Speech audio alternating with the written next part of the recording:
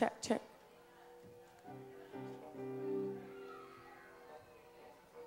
Thank you.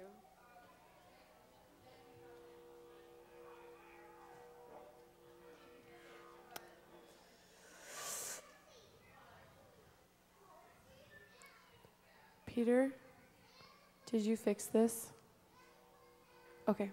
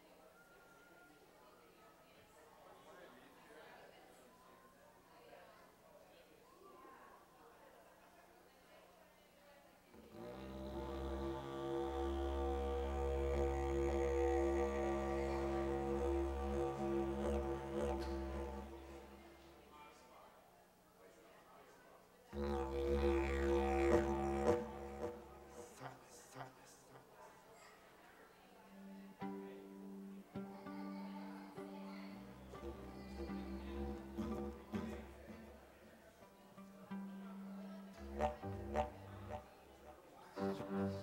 you.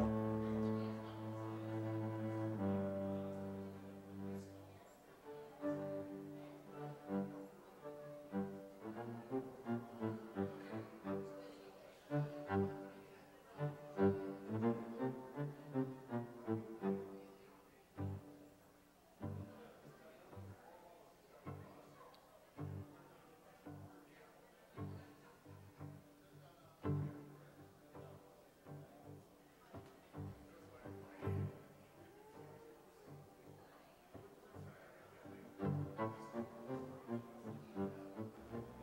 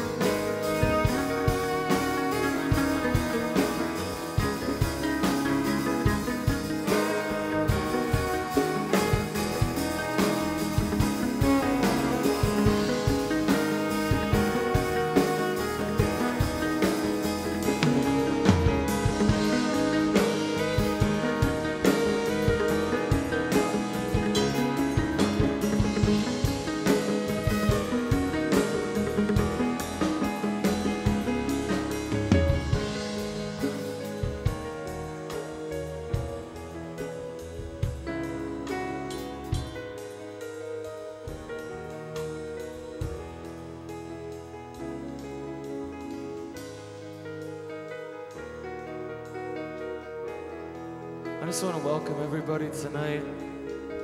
Such an awesome day today. We had a we just had an amazing morning just in worship and spent some time together this afternoon and just hung out and ate and talked and it was it was awesome. It just kind of feels like church has been going on all day. So I'm so excited to have Leonard here. Man, we just we love Leonard. We love being able to play music with him and what a blessing, what an honor it is.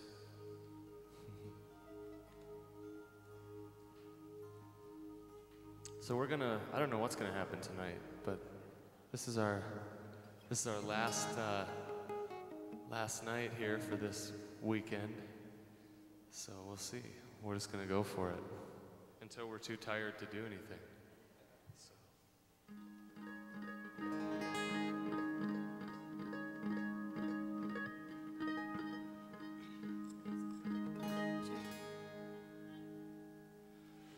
Praise him, all angels and heavenly hosts. Ye armies of heaven, great beings of old. Sun and the moon and the stars in the night.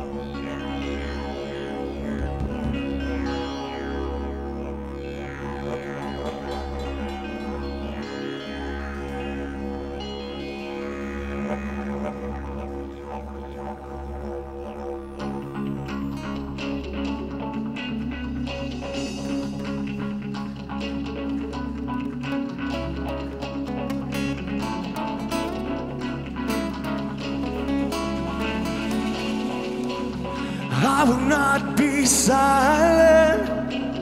I was born to worship. I will not be quiet. The voice of fear, you can hold me back no more.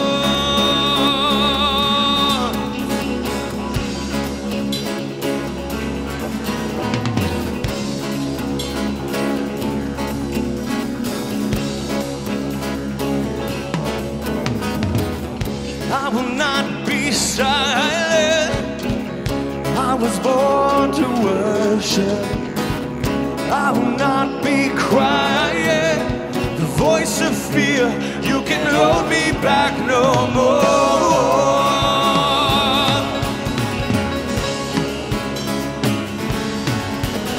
You can hold me back no more,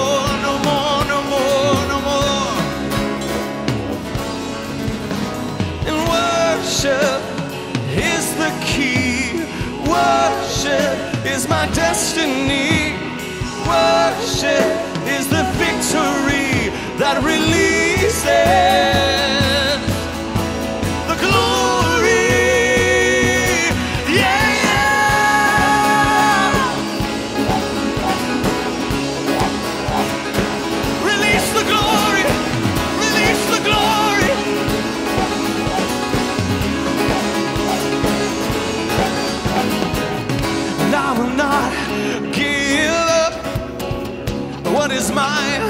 inheritance.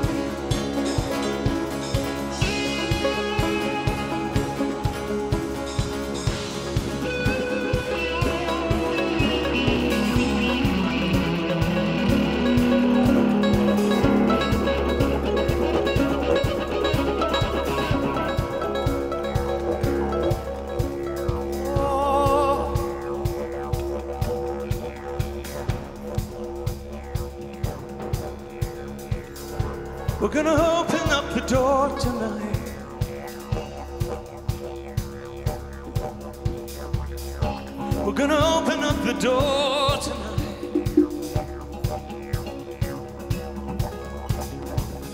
Mm. Oh, yeah. And worship, worship, worship is the key.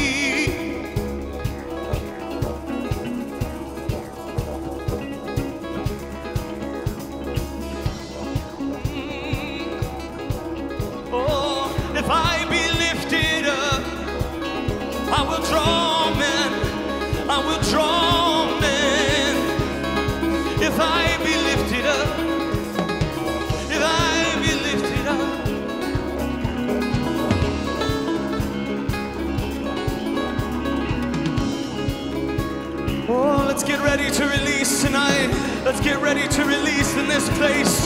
Come on, come on, come on.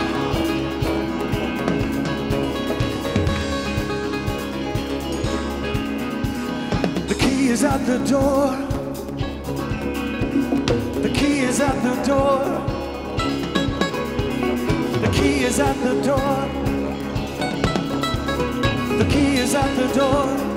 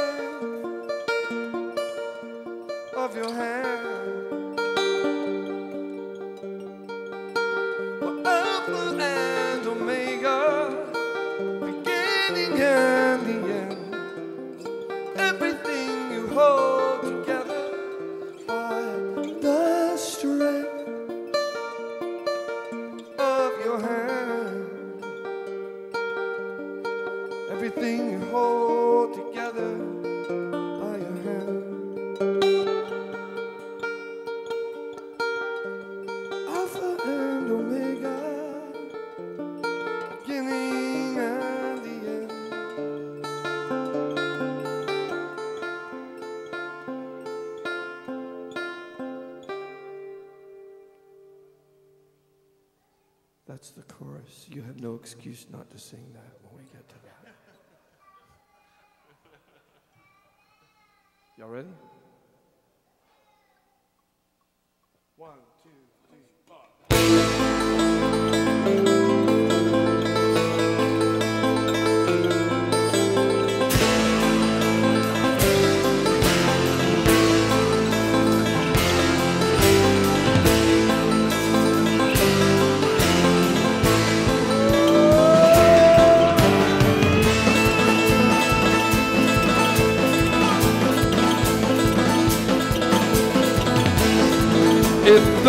The wind ever leaves the sky,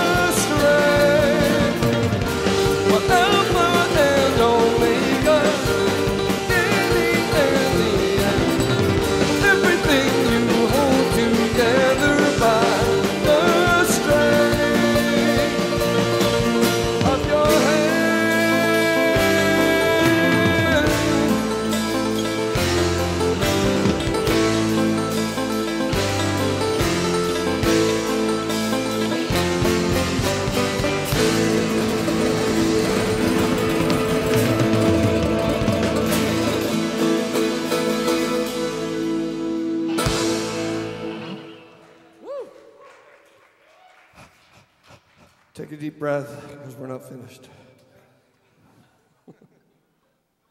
Stop.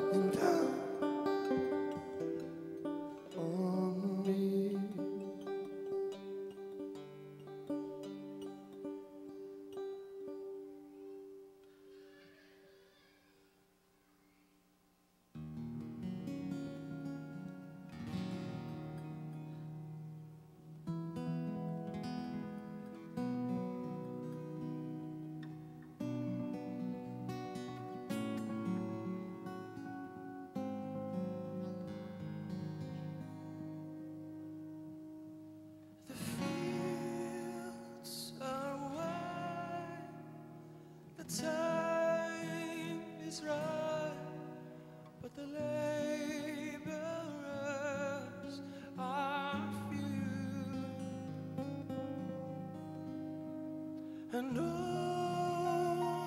the while you're in denial that the chosen one is you.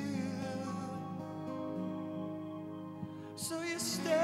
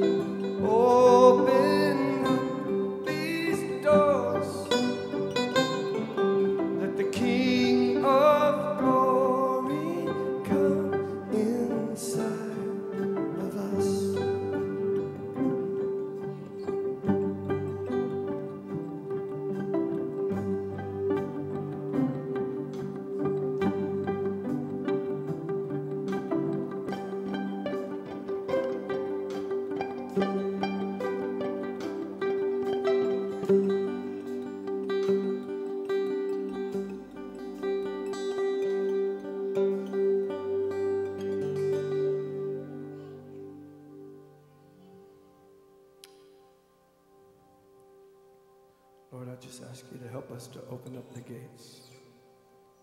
Um, that you can talk through us, that you can speak through us, you can touch this world through us,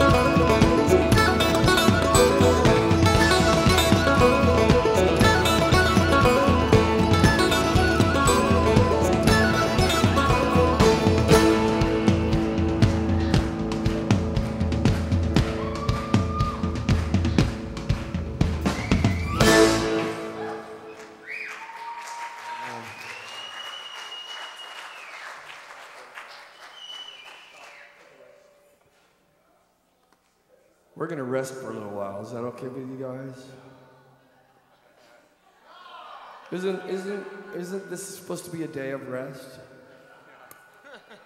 I, I believe that's right. I think that's in the Bible. On the seventh day, the Lord rested. So I don't know what we're gonna do, but but we're gonna stop for a few minutes. Yeah.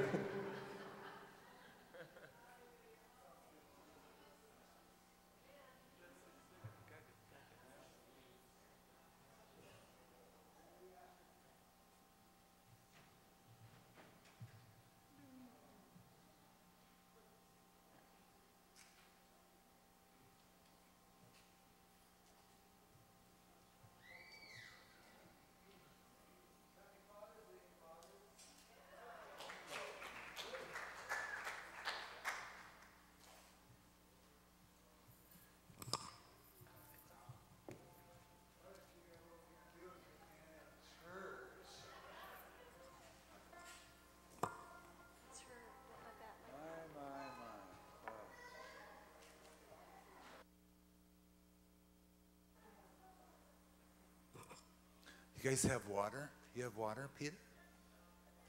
You got you guys okay? What's going on over here?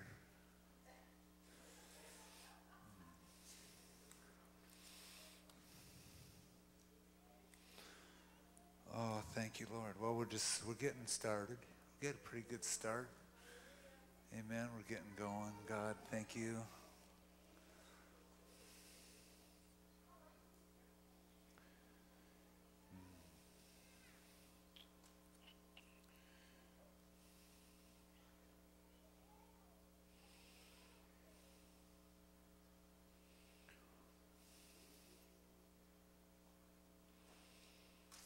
Thank you, Lord. I'll share a couple things. Does Anybody else have anything they want to jump in here on? I don't know if you have anything. Anybody? Let me know. But I'm going to start in 1 Corinthians chapter 4.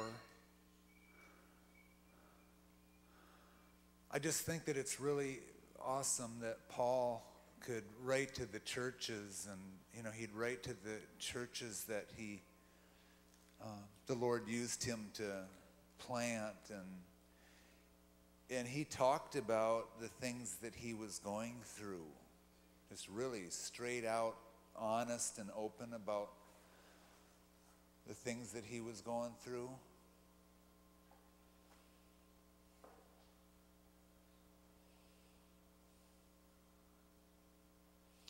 I just wanted to start in verse 9. It says, For I think that God hath set forth us, the apostles, last, as it were appointed to death. For we are made a spectacle unto the world, and to angels, and to men. We are fools for Christ's sake. But you are wise in Christ. We are weak, but you are strong. Ye are honorable, but we are despised. Even unto this present hour, we both hunger and thirst, and are naked, and are buffeted, and have no certain dwelling place, and labor, working with our own hands. Being reviled, we bless, we bless. Being persecuted, we suffer for it. Being defamed, we entreat. We are made as the filth of the world and are the offscouring of all things unto this day. And I write not these things to shame you, but as my beloved sons, I warn you. I just thought we'd just talk about this a little bit about fathers and sons because um, you see there in verse 15 it says, For though we have 10,000 teachers or 10,000 instructors in Christ, we have uh, not many fathers. For in Christ Jesus I have begotten you um, through the gospel. So he's talking about there's, there's all kinds of teachers there's, um, that, that can teach the Word of God. There's all kinds of instruct, instructors. In fact, as he's talking here, that there's 10,000, you know, there's 10,000 instructors, but few fathers. I believe that what the Lord is doing in this time that we're in is He's raising up fathers. He's, he's establishing fatherhood in this place. And, and many of uh, the sons here are now have now become fathers. And you know how you brood over your children. You know how you brood over your sons that are growing up now. And that's how your fathers, how your spiritual fathers brood over you and brood over uh, the things of God.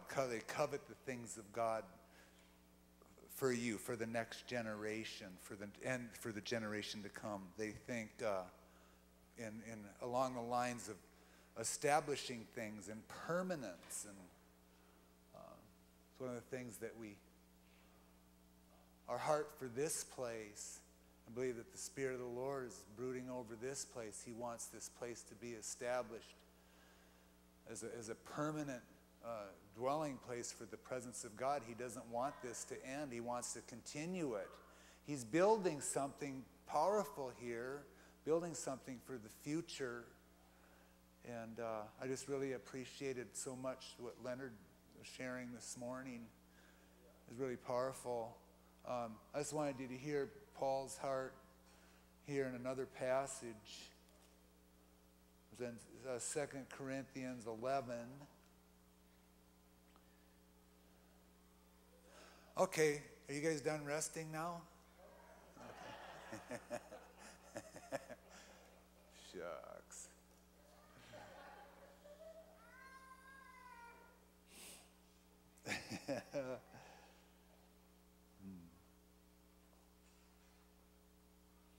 just hear Paul's heart in this passage. It's just, uh,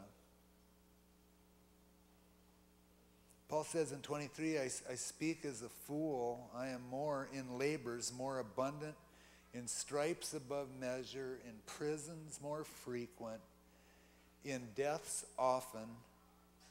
Of the Jews, five times received I 40 stripes, save one, so 39 stripes. Five times he was beaten.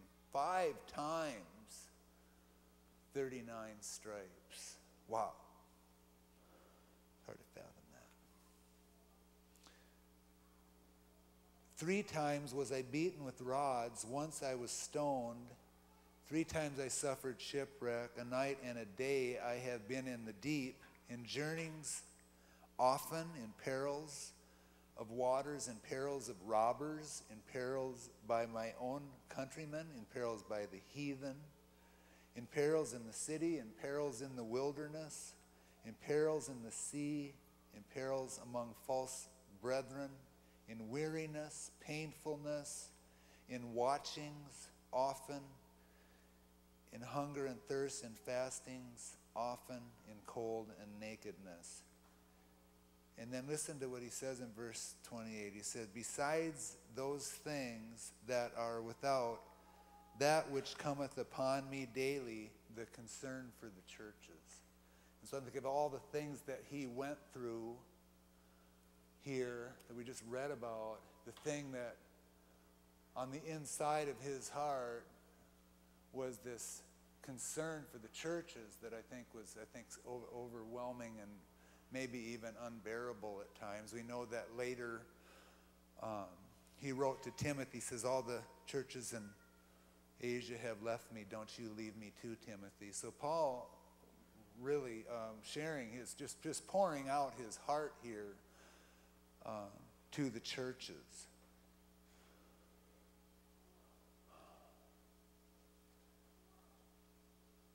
His con- concern for the churches, he wrote over and over again. Uh, let's just turn there. It's in uh, Ephesians 3, uh, 4, I think it is. Just want to talk a little bit about um, our, about our conversation. He's talking here about, you know, you all know the passage um, about ministry gifts in verse uh, 11. If you back up a little bit, see, he that descended also, uh, he that ascended also descended, gave gifts unto men. It talks about ministry gifts to the body of Christ there, and then for the perfecting of the saints, or for the equipping of the saints to do the work of the ministry. And then he goes right in and he starts talking about this part about equipping. He's talking about conversation, our conversation, our speech, our motives, what's going on with us in our hearts anyway. And so I want to talk about that just a little bit. Um, because he says, You put off, in verse 22, put off concerning the former conversation the old man.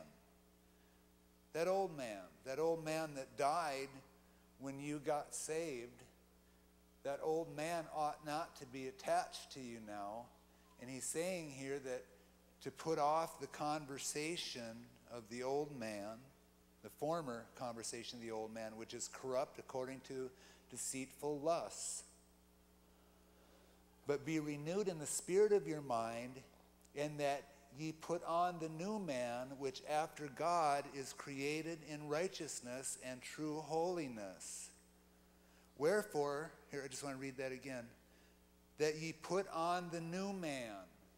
Put on the new man. You're a believer now. You're born again now. You're serving God now. The Spirit of the Lord is upon you now. The Holy Ghost uh, resides, lives, and dwells in you. Therefore, put on the new man, which after God is created in righteousness and true holiness. I love that passage of scripture about the sons of God in 1 John and in 2 there. See if I can remember it. It says something like, uh, What manner of love has the Father bestowed upon us that we may be called the sons of God? We are, we are the sons of God. He put it on us. He put on so much love, poured out so much love on us. And now here we are being called the sons of God. And it says, Therefore, the world doesn't know you because it knew him not. It knows you not because it knew him not. It says, Now we are the sons of God. And we don't know what we shall become, but we know that we will be like him when we see him as he really is. And everyone that has this hope purifies himself even as he is pure. He pur- purifies himself even as he is pure. So, this is what we do as believers. We are continually working on ourselves in this process of putting on the, the new man, putting on the new man, and purifying ourselves. Allowing that refiner's fire to come upon us. Even when we gather together like this, allowing the refiner to come, the refiner's fire to come and burn up the dross and anything that needs to go so that we can make sure that every day we're putting on the new man. The new man.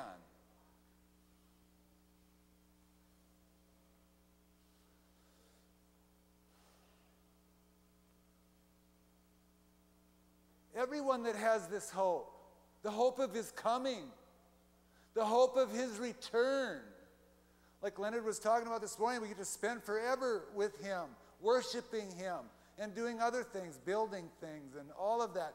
But he that has this hope purifies himself even as he is pure. Think about that. Meditate on that. Get that word in your heart. I just want to show you a couple things there. I might have to have somebody that has uh, iPhones to look up a couple things for me, if that's okay, because I know you're really good at it, some of you. Just wanted to share this over in. Uh, over in se- uh, this, I'm really kind of finishing something that I said about three weeks ago, and I just wanted to, because I never really did get to it. I'm just going to be pretty brief with that passage, but it's in Peter, second chapter, Peter, and it's verse or chapter chapter one, and I and I quoted verse ten. It says, "For he that for he for ye that do these things, if you do these things, you will never fail." And so everybody wants to know what that is. We all do. I mean, if we knew that there was something that we could do, some things that we could apply to our life and we would never fail, we we'd certainly want to do it, and that's what we're thinking about right now. We want to obey Him. We want Him to be Lord. That's what the kingdom of God is all about. Is make the kingdom of God is where Jesus is Lord. He has lordship over our lives, over our hearts, and all of that. For if you do these things, you shall never fail. So let's just look at this just a minute. I'm going to try to hold the mic a little bit closer to my face so that, because I think we have to do that when we're up here, because evidently sometimes they don't, people that are watching in don't, uh, are not able to understand us. We're not pretty quiet. Um, just get an under, just to really get a working understanding of this passage. Says, according in verse 3, according as his divine power hath given to us all things that pertain unto life and godliness through the knowledge of him that has called us to glory and virtue. Okay, so verse 1 according to his divine power has given unto us all things. So it's supernatural now. It's his divine power at work in our lives. His divine power that, at work in our lives.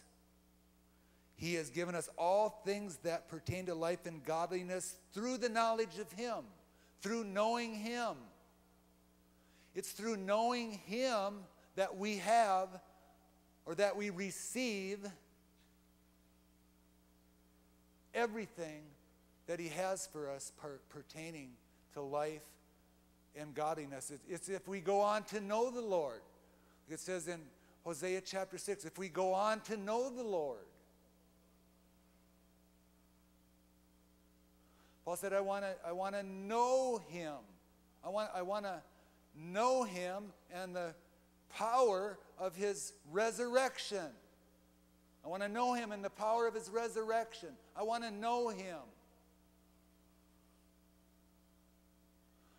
I want to know Him. I haven't attained to all of it yet. I want to know Him. And it's, it's through that desire in you to want to pursue the Lord and to know Him more that you have everything that you need pertaining to, God, to life and godliness.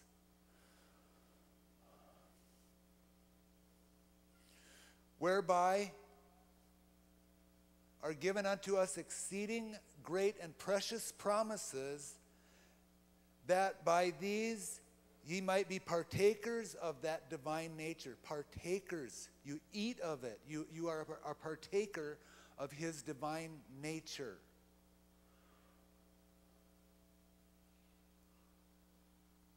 Power to be called sons of God.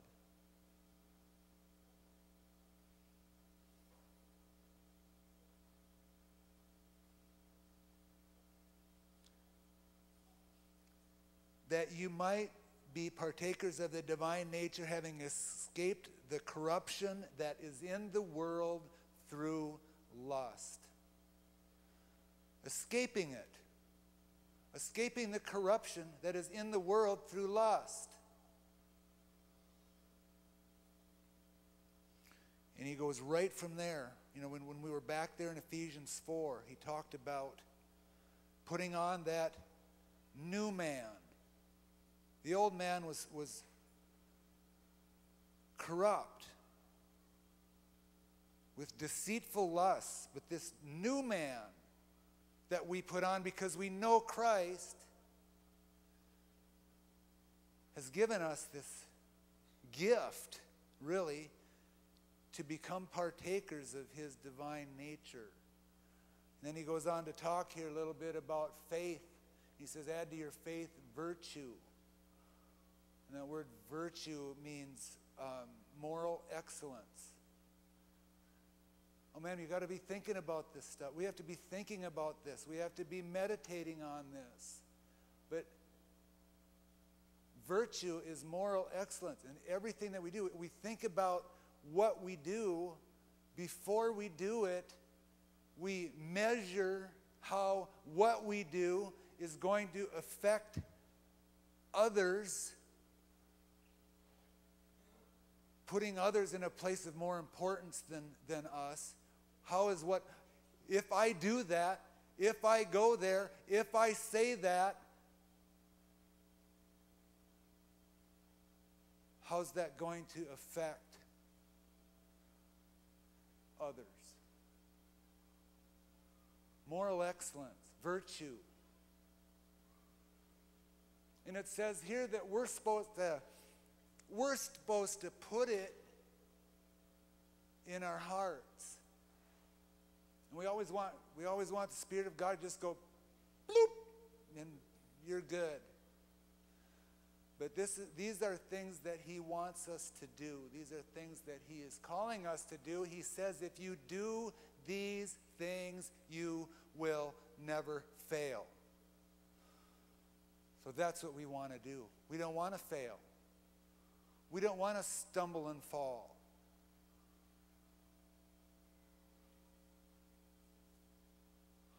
We don't want to keep going over the same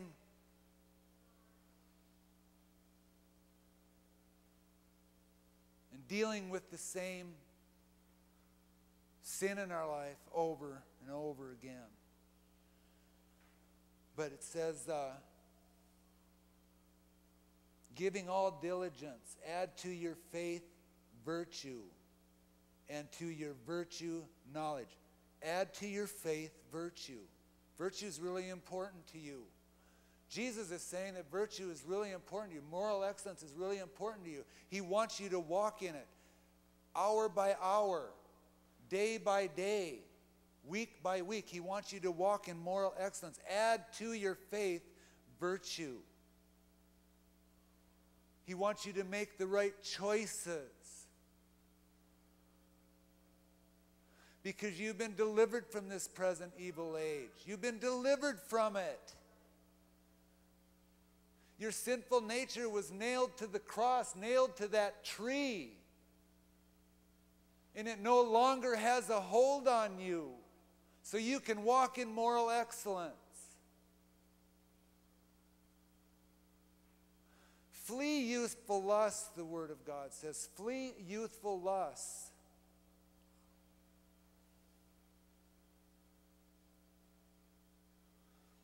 Add to your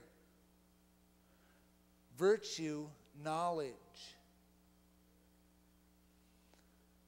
And to knowledge, temperance. To temperance, patience. And to patience, godliness. You know, just one of the things about patience, I just want to say, you know, I'm just saying, you know, when, when you come in, we want to enter into that worship circle. Man, like Leonard was singing tonight, talking about, you know, really provoking us, you know, provoking us to good works, provoking us to, to uh, open our gates. When we come into the presence of God, oh, we need to open our gates. We need to we need to get into our heart. We need to get out of our heads and get into our heart, and we need to forget about some things sometimes. Or we need to at least lay it down, lay it, lay it down, and give it over to the Lord. That's what He says to do. He says, Your yoke is easy and His burden is light.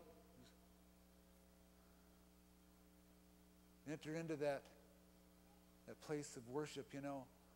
In the Garden of Gethsemane, Jesus said, You know, can you tarry with me an hour? Could you even tarry with me for an hour? You couldn't tarry with me for an hour? What Jesus said to his disciples, to his followers. We should be able to tarry with him for an hour.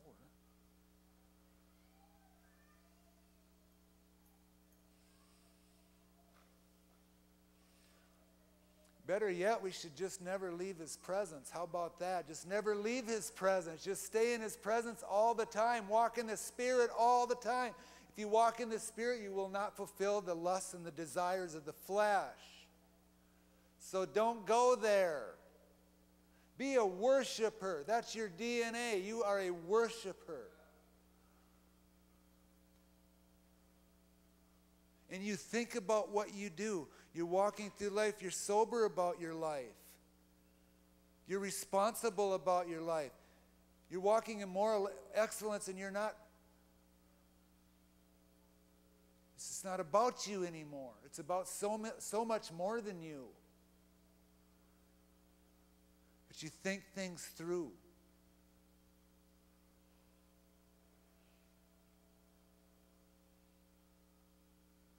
You contemplate the, the seriousness of yielding to temptations and how that's going to affect other people around you.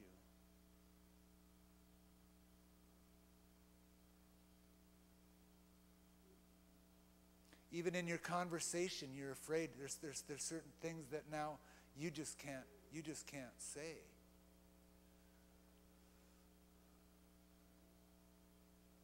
So putting on that new man is all about.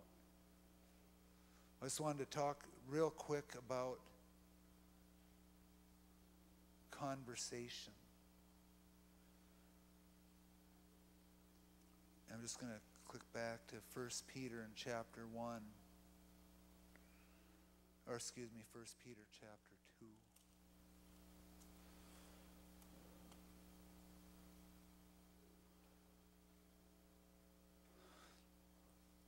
the things that God is doing in our lives is supernatural.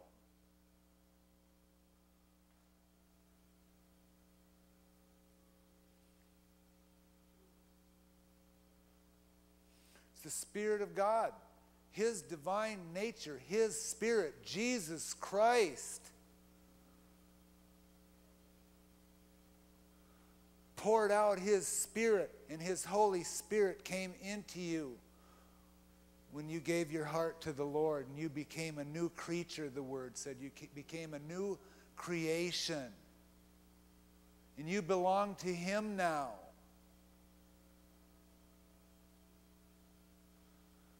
You belong to Him now. He's the Lord now of your life. It says, uh, could you look up uh, the word malice?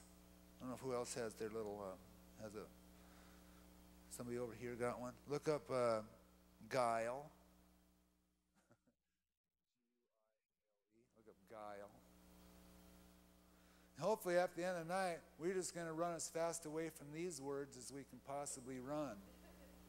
Because these, these words should not even be. Um, if these things are on the inside, of us.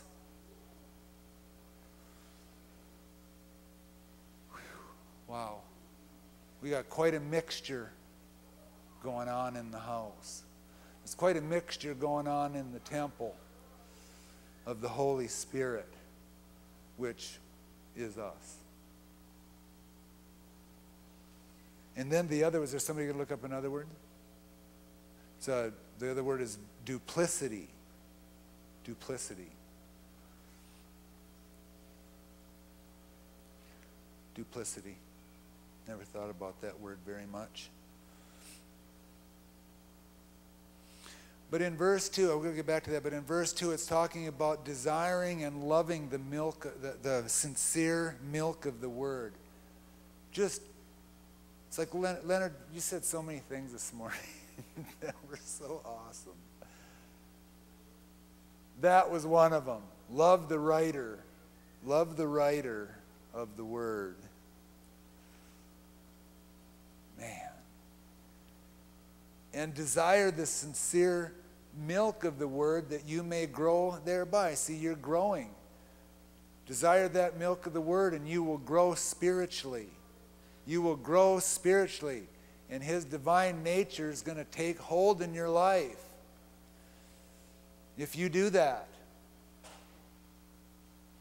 and enter into that worship circle, is so important that you yield to the presence of the living God, that you yield to, the, to His um, dealings in your life, and worshiping Him in, in spirit and in truth.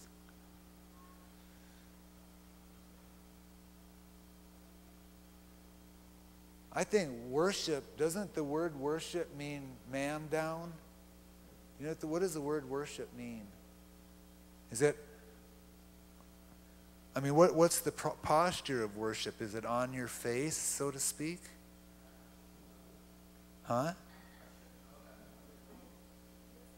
I think it means on your face.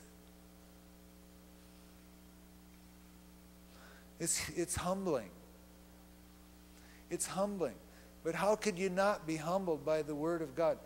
How could you not be humbled when John the Baptist said, Behold, the Lamb of God that takes away the sins of the world? I mean, even saying, Worthy is the Lamb makes you want to lay down because of what that Lamb did for us on the cross when he shed his blood. It makes you want to lay down. It needs to make you want to lay down.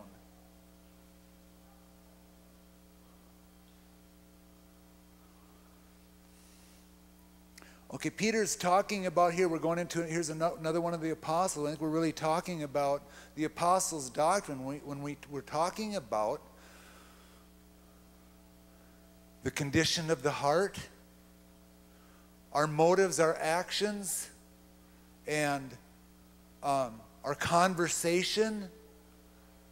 Um, something, something in our heart that might want to hurt another living person.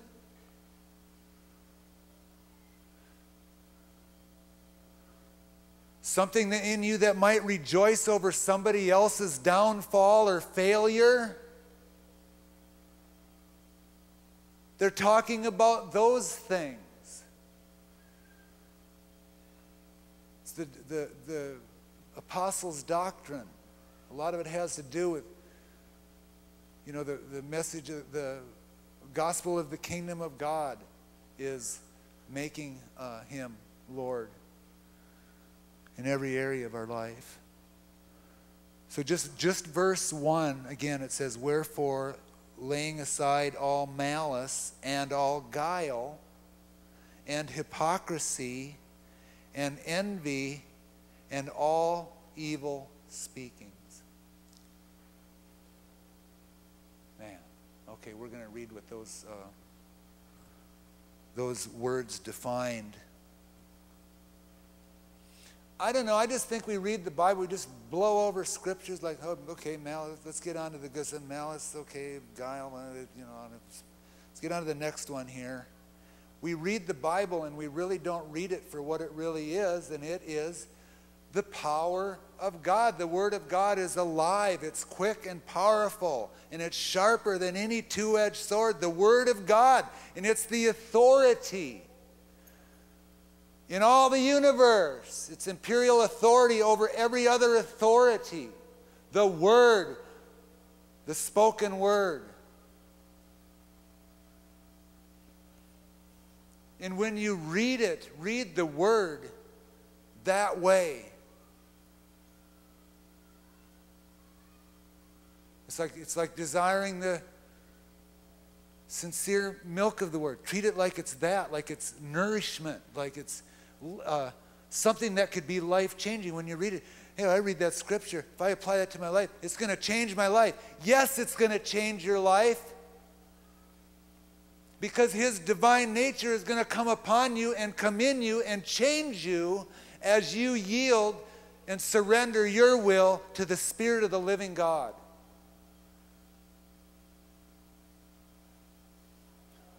That's it.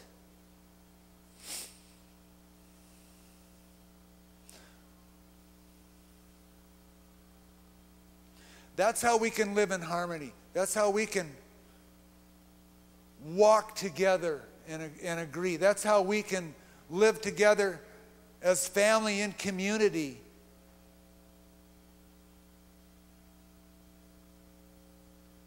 We have to know the limitations and the requirements and the accountability that the Lord puts on us. He puts accountability on us, He puts limits on us. He does. The church of the living God that He loves, it's just not some kind of a free for all where everybody can just go out and do whatever they want to do. That's not what the kingdom of God is. That's not what the church of the living God is. But we're talking about things that professing Christians have in their hearts that need they need to hightail it and be cast off, cast down, cast out, whatever it is. Um, it needs to happen. Because God resists the proud, but He gives grace to the humble. He gives grace to the humble.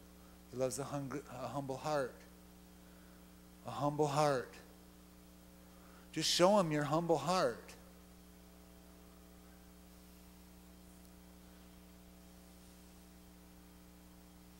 Okay, can you can you read that?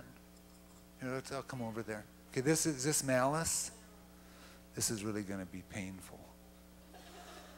Painful. Malice is a desire to inflict injury, harm, or suffering on another, either because of a hostile impulse or out of deep seated meanness, the malice and spite of a lifelong enemy. And the second definition is evil intent on the part of a person who commits a wrongful act injurious to others. Okay, so mean spirited. You want to make somebody pay. Um, that was that was really something. So Peter's saying, lay aside all malice and guile. Okay, who's got the guile scripture? Or the guile definition. Sorry, it's not as. Insidious, cunning in attaining a goal, crafty or artful in deception, duplicity. That's what it says here. Insidious, cunning in attaining a goal, crafty or artful in deception.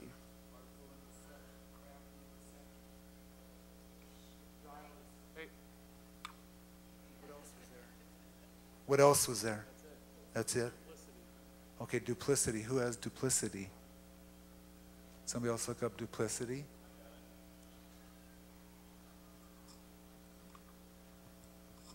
deceitfulness in speech or conduct, as by speaking or acting in two different ways to different people concerning the same matter. Ouch. Double dealing.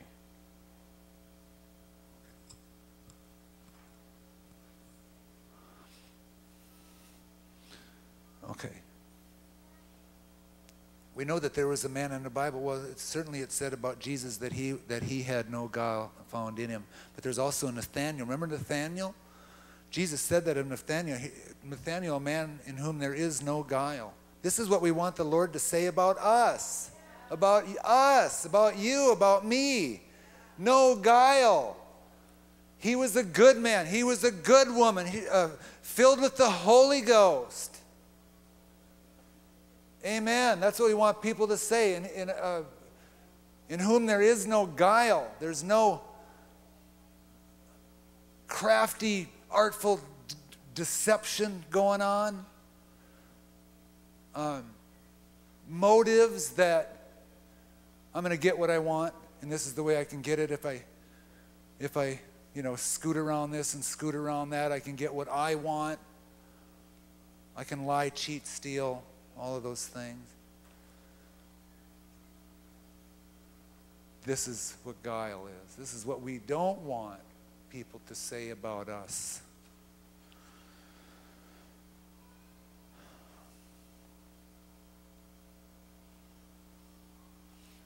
I just think that we need to review it. I think that people need, we all need to get a really strong conviction about these three words.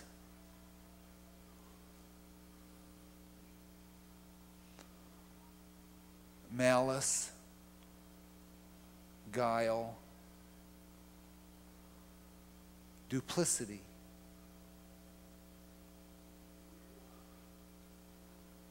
I know Peter was singing the, I think it was the last song that he sang. He's talking about that entering in through the straight gate, people, the straight gate, the narrow way. Man, you can't walk down that, that narrow road that leads to life if you have guile, if guile is found in you, if malice is found in you, if hatred, all of those things are found in you. The word even teaches us over in Galatians chapter 6 that we can't even enter into the kingdom of God if those things are operating in our life. Well, we're supposed to be cunning. Doesn't the word say we're supposed to be uh, wise as serpents, but harmless as doves? But wise as serpents. Learn to ask Holy Spirit. Ask the Holy Spirit to help you, to help us. You know, through through discernment. Um,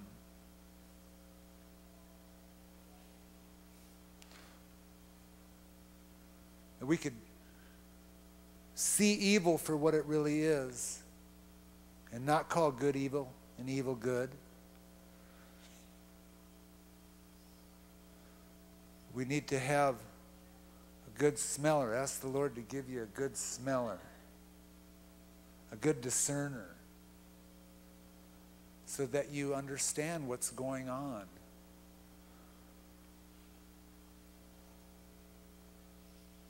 Right?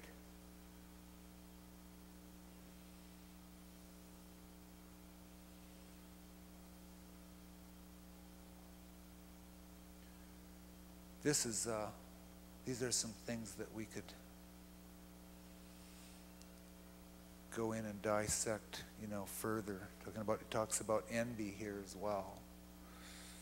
And uh, we're going to do that a different you know we'll do that at a different time. This is what the lord wants us to do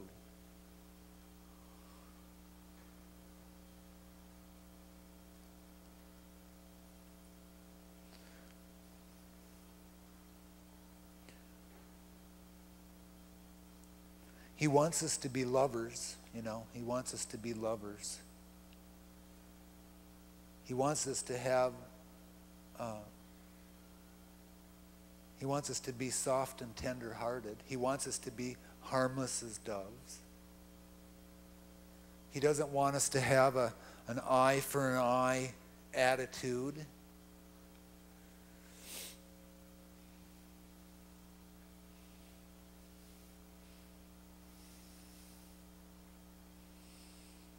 He doesn't want us to be thinking of ways that we can get back at somebody that, that wronged us. I think these are very important, important things. I'll just end with this because David was David David said this out loud, and I remember we somebody taught us this a long time ago, and it had to do with our we were talking about conversation. We've been taught about uh, conversations, and this this is one that works really good. This is this is kind of a, you know, I don't know, a side trip over here, but it just had to do with motives. And sometimes people say things and they have a motive in the saying of it.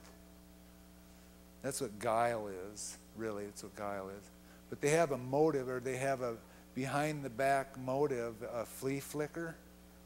a, a flea flicker, um, a motive for saying what they're saying. And it could be it could be divisive in nature. It could be, I mean, there's just a, a whole lot of things that it could be. Um, but you need to get good at doing that. You need to get good at saying, you know, hey, wh- why did why did you say that? What was your what was your motive for saying that, or, or why did you say what you just said? You ever do that?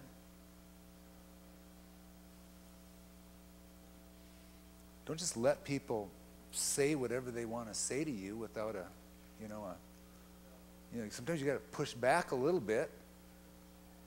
Push back a little bit. Why did, why did you say what you just said? I'm just trying to get my head around why you said what you just said. Don't be afraid to do that. Isn't that what that? How it went? Something like that. Okay. Whew. I think our musicians are, are they done yet? Ready? Did you get rested up yet? I think they did. Um,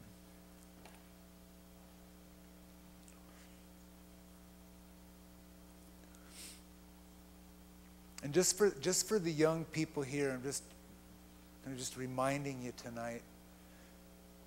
Just remember that your fathers, your spiritual fathers, they're brooding over you. they uh, they uh, they want to see the fulfillment of the promise, the fulfillment of the destiny in your life. Your fathers are always thinking about you, brooding over you, wanting the best for you, wanting you to go beyond. And um, I just think that's a really good analogy, a good example that a lot of our young couples are having their own children now, and that's just what it's like. And you know, you brood over your natural sons, your spiritual sons, and you want absolutely want the best for them in every in every area. In every area. You want the shalom of God on your family, on your kids, not just financial prosperity or, or financial success. Come on. The shalom of God.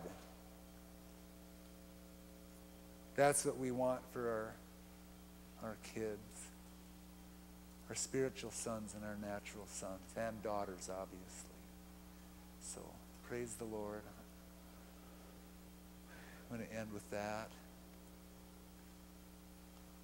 The Word of God is wonderful.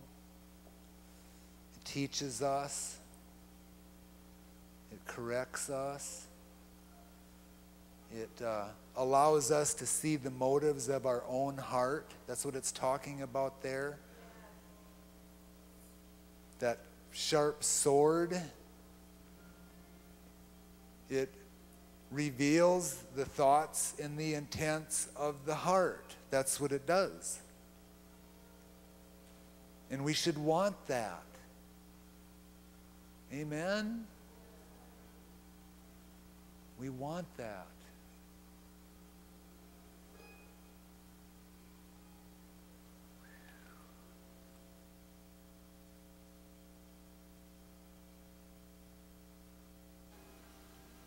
Let's give Pete a good hand. Awesome. I just want to say a couple things here. I think one thing I'm going to say is going to deal directly with Leonard Jones and his relationship with us here.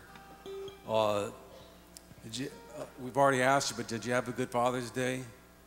Amen. I've enjoyed the company of some of my kids.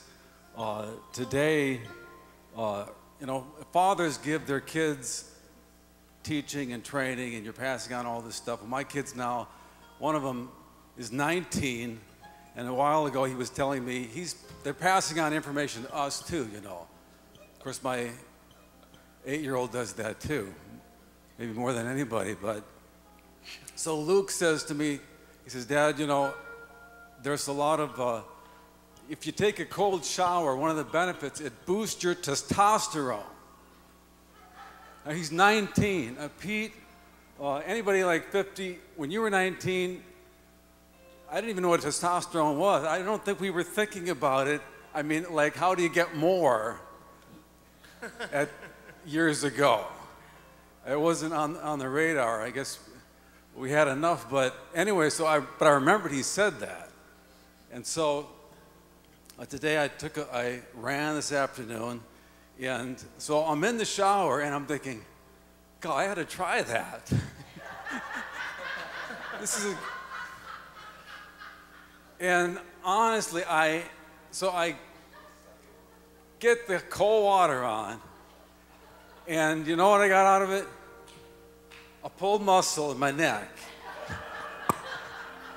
and I turned it hot, and I just finished the shower. So I don't that's the way it was supposed to work, but hallelujah.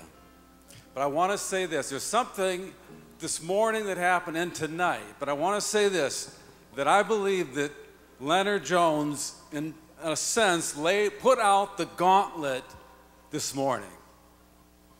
He laid out the baton for the fire starters, for all that were here in the sound of our voice. He laid out the gauntlet, and it's are we going to pick it up? You know, he's a, a soft spoken man. He means what he says, says what he means, but he didn't yell, he didn't shout. You know, he's Leonard Jones, and it's very impressive.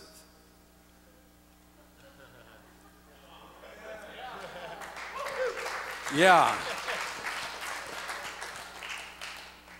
And, but if you missed that, the fact that what was going on was he's putting out the baton, raised the bar for us. And he is a, an extreme part of the, what I would call the mystery of fire starters. Now, a mystery is something that's hidden, a mystery or a secret, but I believe he is a part of the secret or the mystery, or let's just say the puzzle. Part of the puzzle of the ministry that God has given us and established here. He is an, an extreme part of that puzzle and that mystery. And part of it is being revealed. Amen? As he shared numerous things including bringing his school and training here. But I want to say this there are three ways that, many more besides this, but there are three definite ways that he is relating to us, okay?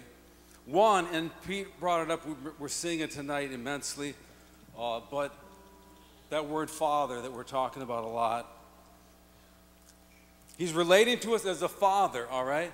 And as a father, they give identity, they give purpose, they say, You can do it.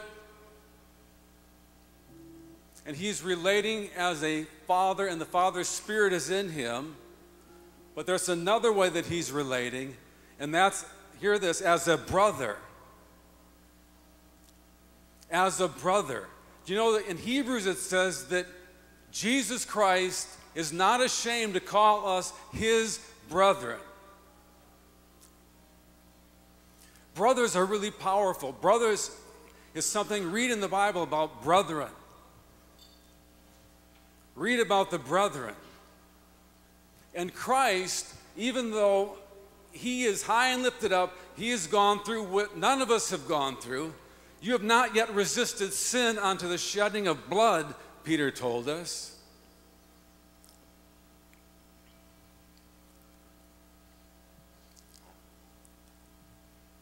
But as a brother, no matter what, Jesus Christ is high and holy, he's lifted up, but yet he looks at us and says, to the weakest amongst us, really, he says, I'm not ashamed to call you brother.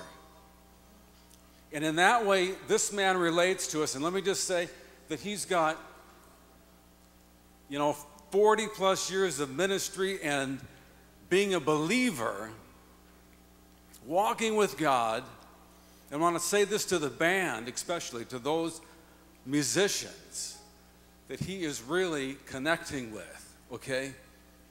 But as a brother, I mean, he was doing music, writing music, relating with music before many of you were born. All of you were born on that band. But I'm saying, as a brother, I really believe I can feel him saying, I am not ashamed to call you brothers.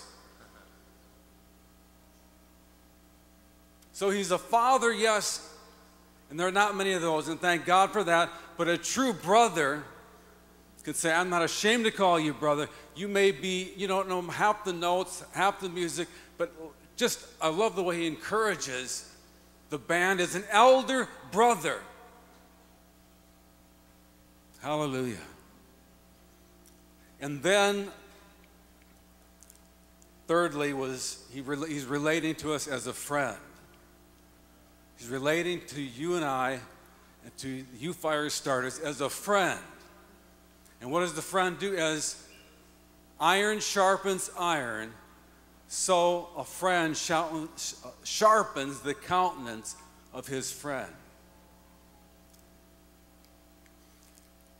And he's here to sharpen the axe, to sharpen the tools, to sharpen us up. And Pete came out in the same, obviously, the same spirit tonight, laying out the gauntlet.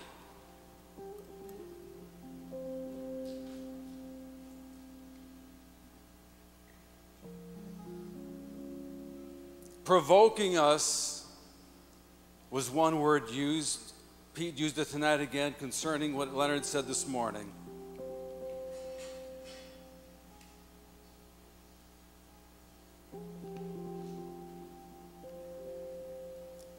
Hallelujah. Amen. How many are going to pick it up? I mean, I'm telling you, he laid it out for us.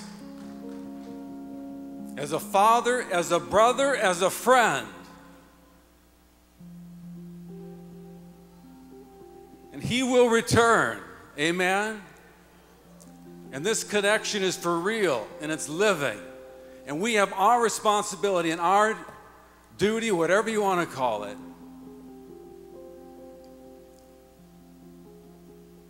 And we are going to rise to the occasion.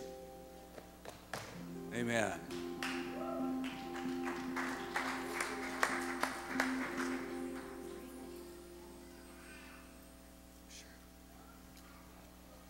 Uh, let's uh, go ahead and uh, prepare an offering, okay? Praise God. Uh, let's uh, give generously. Let's give in the spirit of the meeting and the meetings we've had since Friday night. Thank you, God. Praise you, Father. Thank you, Lord God.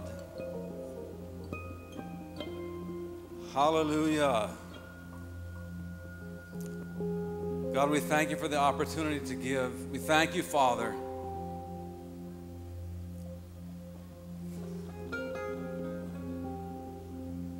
For your perfect gift which comes down from heaven, Lord. You, the Father of lights.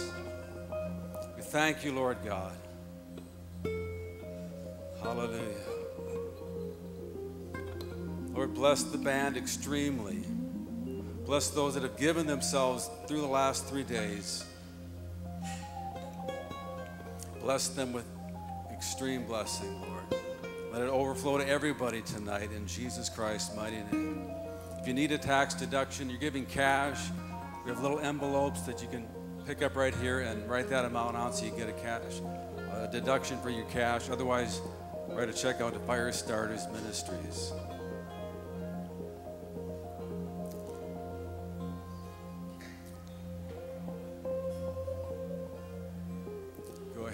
Come on up.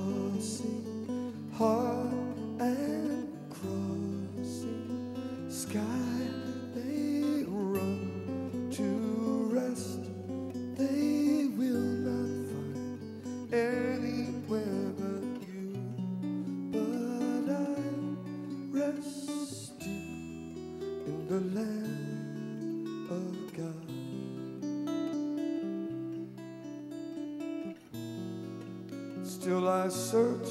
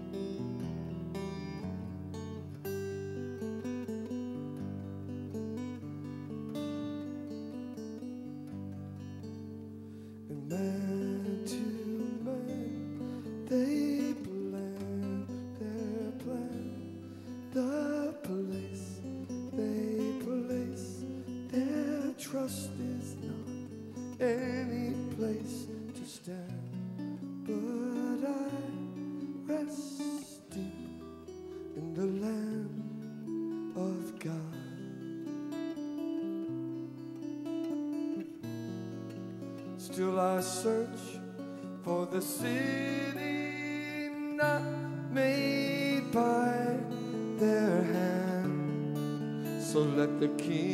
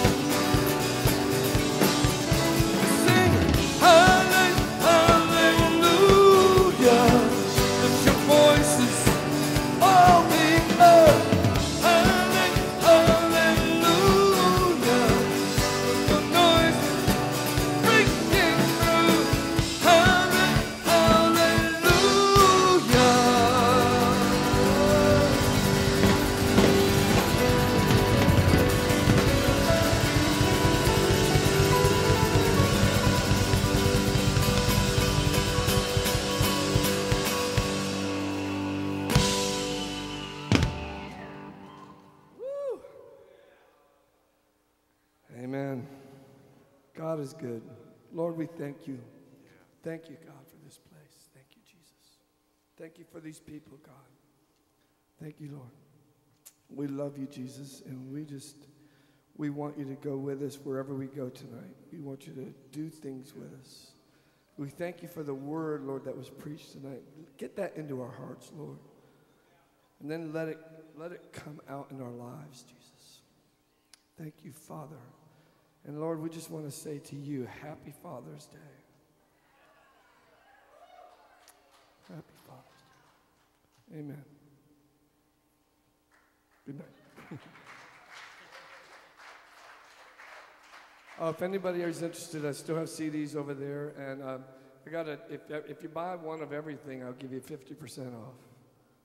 Uh, so that'd be great.